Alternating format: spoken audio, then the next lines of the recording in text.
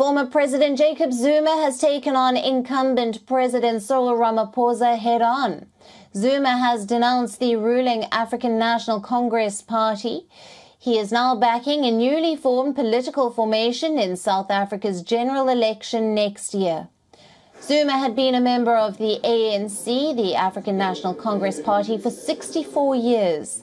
Zuma is now batting for the MK party to come to power in the upcoming 2024 elections.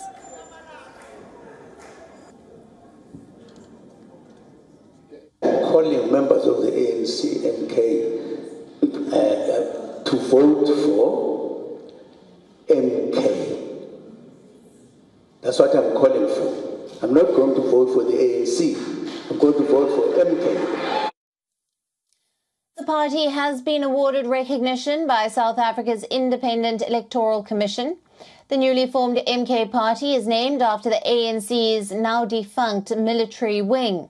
It was disbanded after the South African liberation struggle.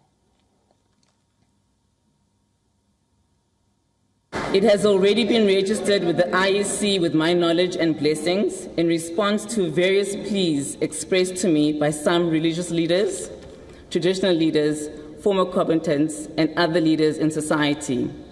I call on all South Africans to join me in taking the important step and to vote for the MK party. The country's general election in 2024 is expected to be a highly contested one.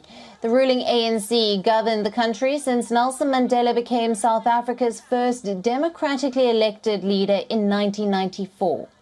But now the African National Congress faces a myriad of challenges. Recent polls have suggested that the ANC could garner less than 50% of the national vote in next year's election. This would be the first time the ANC has faced such a crisis in South Africa. The ANC may also need to form a coalition government to remain in power. And then there is the personality dynamic between Jacob Zuma and the incumbent President Cyril Ramaphosa. Zuma was ousted as the country's president by Ramaphosa in 2018. Wide ranging allegations of corruption in government and state owned companies were made during his presidential tenure from 2009 to 2018.